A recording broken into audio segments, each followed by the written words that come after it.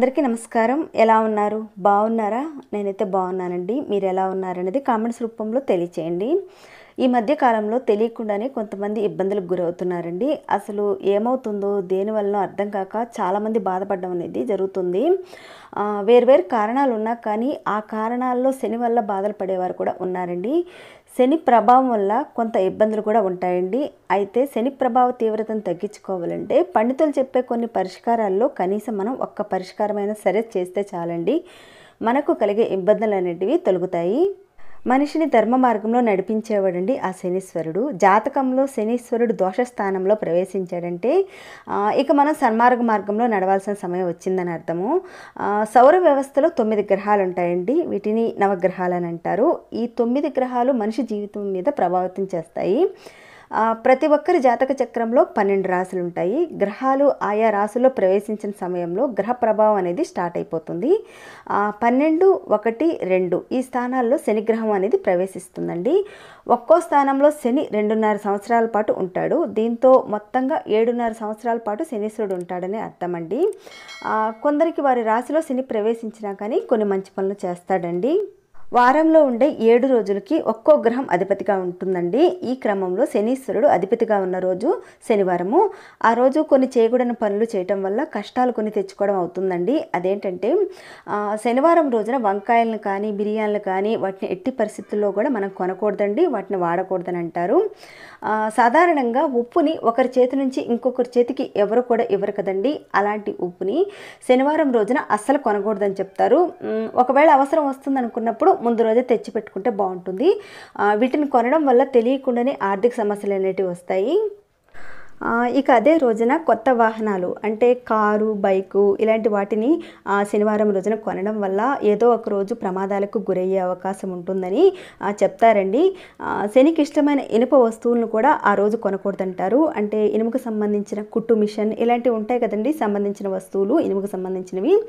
అలాంటి వాటిని కొనకూడదనమాట ఇక మినప్పప్పు వంటల్లో ఉపయోగించే వంట నూనెలను శనివారం కొనకూడదండి. కానీ వాటిని మనం వండుకునే కూరల్లో వండి ఆ, వండిన పదార్థాలను కాకులకు పెట్టొచ్చండి. ప్రతి ఇళ్ళ దగ్గర కాకులు అనేటివి వస్తూనే ఉంటాయి కదా.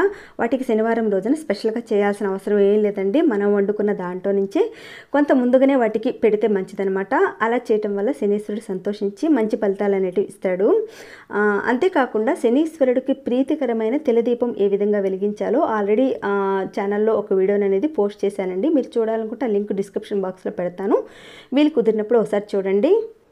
ఇక నల్ల రంగు దుస్తుల్ని ఆ రోజు వేసుకోవడం కానీ కొనుక్కోవడం కానీ అలాంటివి చేయకుండా ఉంటేనే మంచిదండి. వాటిని కొనడం వేసుకోవడం లాంటివి చేస్తే శని బాధలు తప్పవని చెప్తారు. ఇక ఆవాలను కూడా శనివారం రోజున వాడకూడదని ఇంకా తినకూడదని కొనకూడదని కూడా చెప్తారనమాట అదేవిధంగా చెక్కతో చేసిన ఏ వస్తువులను కూడా కొనకూడదని శాస్త్రాలు చెప్తున్నాయండి. ఇక వీటన్నిటితో పాటు శనీశ్వరుడు ఆయుధమైన చీపురు గురించి కూడా ఒక మాట తెలుసుకుందామండి. శనీశ్వరుడు ఆయుధం చీపురు అని మన పెద్దలు అంటారండి కానీ శనీశ్వరుడు చేతిలో పట్టుకున్న చీపురు అలాగే మనం ఇల్లు ఉడిచే చీపురు ఉంటుంది కదండి. ఇవి రెండు కూడా ఒకటి కాదని చెప్తారు. ఆయన చేతిలో ఉన్న చీపురు వేరండి. మనం ఊడ్చే చీపురు వేరనమాట ఆయన చేతిలో ఉన్నది ఏంటంటే పూచిక చీపురు అని చెప్తారు. ఆ, చీపురు తెల్లగా కాడలాగా ఉంటుందండి. మీరు చూసే ఉంటారు. ఈ చీపురుని శనీశ్వరుడు ఒక సందర్భంలో ఆయుధంగా పట్టుకున్నాడని చెప్తారు. తిరుపతి వెంకటేశ్వర స్వామి దర్శనానికి వెళ్ళే భక్తుల్ని హింసించడానికి శనీశ్వరుడు తిరుమలగిరి మీదకి వెళ్తాడండి. అక్కడ భక్తుల్ని ఇబ్బంది పెట్టడానికి చీపుర్ని ఆయుధంగా పట్టుకుంటాడు. ఆ సందర్భంలో ఆయన చీపుర్ని ఆయుధంగా ఉపయోగించాడని అంటారు అప్పుడు భక్తులు వెంకటేశ్వర స్వామిని ప్రార్థించితే ఒక్కసారి శనీశ్వరుడు వైపు వెంకటేశ్వర స్వామి చూస్తాడండి. చూసిన వెంటనే శనీశ్వరుడి దేహమంతా కూడా నల్లగా మారిపోతుంది. ఇక వెంటనే శనీశ్వరుడు భయపడిపోయి కొండ నుంచి కిందకి దిగొచ్చేస్తాడు. అప్పుడు శ్రీనివాసుడు శనీశ్వరుడితో ఇలా అంటాడు. శని శనీశ్వర భక్తుల్ని నువ్వు ఎక్కడైనా హింసించవచ్చు కానీ నా దర్శనానికి తిరుమల మీదకి వచ్చిన భక్తుల్ని నన్ను పూజించేవారిని కానీ హింసించలేవని చెప్తాడండి. అందుకనే తిరుమలలో ఎప్పటికీ కూడా ప్రశాంతంగా ఉంటుందండి. ఎందుకంటే అక్కడ శని బాధలు అనేటివి ఉండవండి. అలాగే నెగిటివ్ ఎనర్జీ అనేది కూడా ఉండదు. అలానే ప్రతి శనివారం ఎంతో కొంత వెంకటేశ్వర స్వామికి పూజలు చేసుకుంటే శనేశ్వరి నుంచి కలిగే బాధల నుంచి ఉపశమనం అనేది కలుగుతుందండి. భక్తుల్ని బాధ పెట్టే సందర్భంలో శనీశ్వరుడు చీపుని పట్టుకున్నాడని చెప్తారు. శనీశ్వరుడు బాధ పెడతాడు కానీ ఎటువంటి హాని చేయడండి.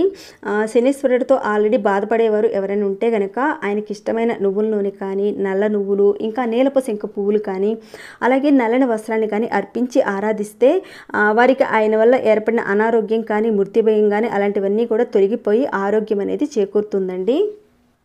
ఈ వీడియో మీకు నచ్చితే లైక్ చేయండి తెలిసిన వారందరికీ షేర్ చేయండి. ఈ వీడియో గురించి ఏదైనా చెప్పాలనుకున్నా అడగాలనుకున్నా కామెంట్స్ రూపంలో తెలియచేయండి. వీడియో చూస్తూ సబ్స్క్రైబ్ చేసుకునే వారు ఎవరైనా ఉంటే సబ్స్క్రైబ్ అవ్వండి. పక్కనే నోటిఫికేషన్ బెల్ ఉంటుందండి దాన్ని ఒక్కసారి ప్రెస్ చేస్తే ఈ ఛానల్ నుంచి వచ్చే నోటిఫికేషన్ మిస్ కాకుండా ముందుగా మీ దాకా వచ్చేస్తాయి. మరో ఒక మంచి వీడియోతో మళ్ళీ కలుసుకుంటాను.